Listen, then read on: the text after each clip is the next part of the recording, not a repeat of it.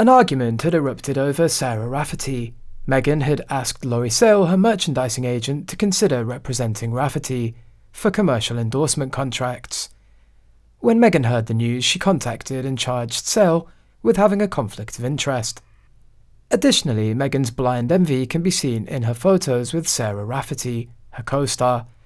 It's always been Meghan who's taken unflattering pictures of female co workers, even photos of her arrogantly curving the door when taking pictures with Sarah and photoshopping her waist to make it smaller. Does she feel an excessive amount of inferiority towards her co stars?